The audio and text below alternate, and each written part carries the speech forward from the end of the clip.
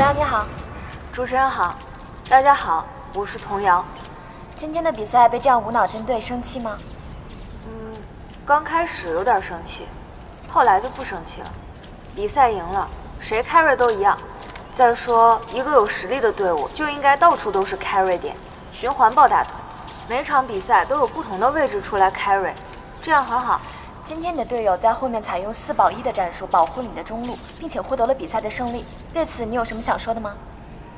成哥的阵很厉害，下次要记得帮哦。嗯，那今天的话，对面对你采取的极端战术，你觉得有用吗？或者说至少曾经有用吗？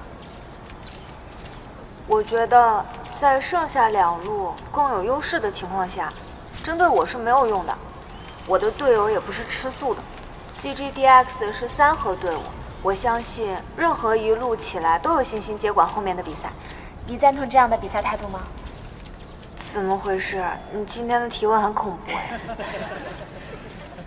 我不知道这是对方的战术还是选手个人的想法，但是我觉得作为一个队伍的核心，就是要做出对队友和队伍负责的行为，这是最基本的吧。有传闻说，是因为之前关于许泰伦选手跟粉丝约会的事件，你在直播间发表的一些言论，导致一些人认为这是事实。你认为和这有关吗？我不知道我说了什么，但是如果这个人本身没有问题的话，任何人、任何话都带不了任何节奏。我相信，许泰伦选手本身也知道这个。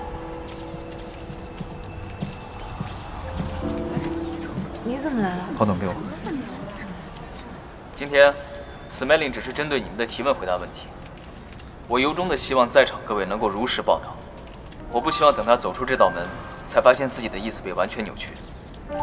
我知道某些媒体有时候为了博取眼球而做些断章取义的手段，但事件关乎到选手的声誉，怎么写，写到哪，望慎重。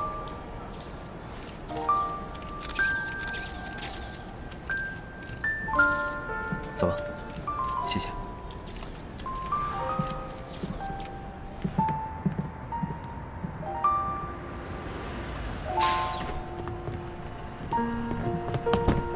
哎，开心！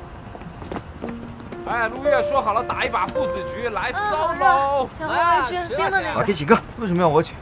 因为你拿了 MVP 啊，Smiling 拿了 MVP 啊。哎，Smiling 大大被扣过两个月工资，他们让我拿 MVP，只是因为他们想八卦我和许泰伦是。走走走走走走。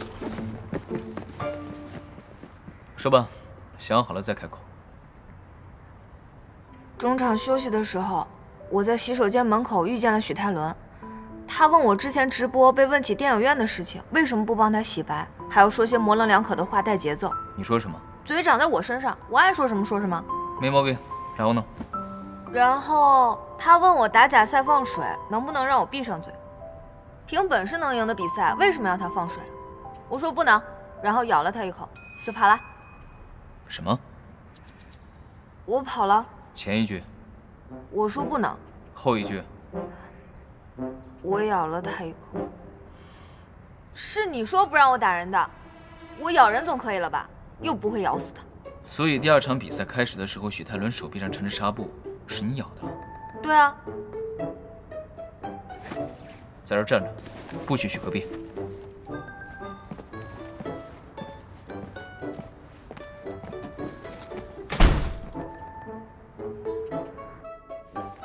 你们谁都不许给他开门。成哥，他怎么了？垃圾桶里面找东西吃，外面站着散散味儿。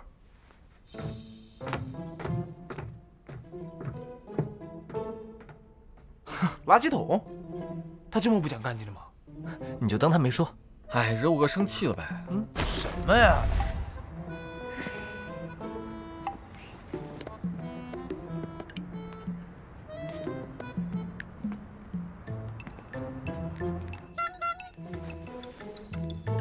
胖帮我开门。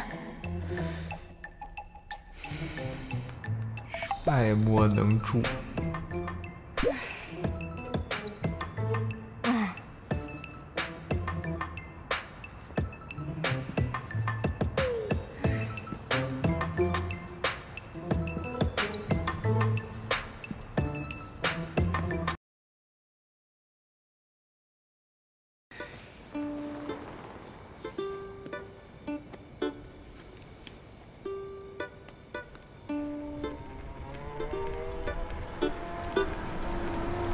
陆先生的外卖。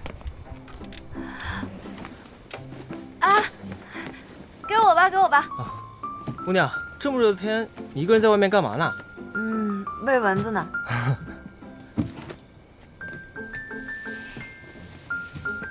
谢谢。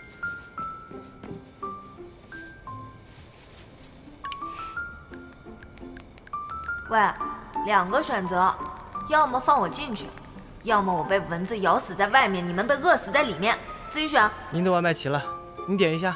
啊，不用了，不用了，谢谢。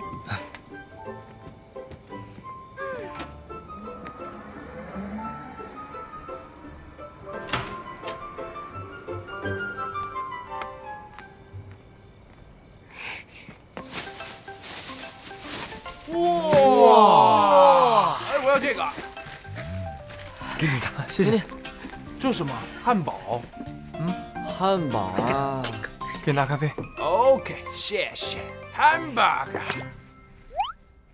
没定你的，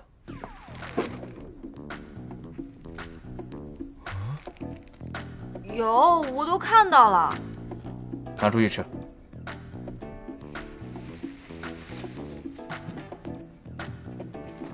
知道错了吗？知道了，知道了。下次再遇到这样的情况怎么办？扭头就跑，报警，叫救命。叫谁？行了，行了，知道了。叫谁？你坐下来吃。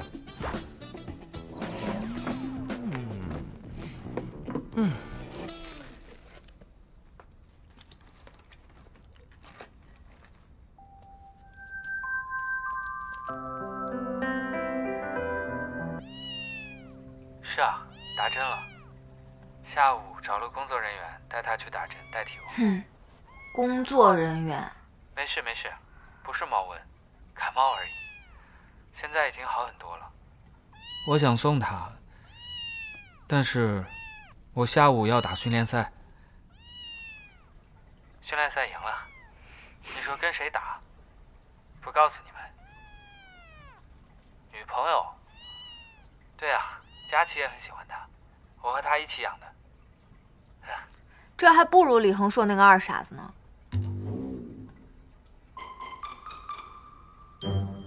哎，乖。有什么毛病？又讨厌又要看。哎，你让开，别管我直播。虽然我讨厌他，但是也不妨碍我看他直播演戏啊。这个人满嘴谎话，张嘴就能骗人的人，多难得呀！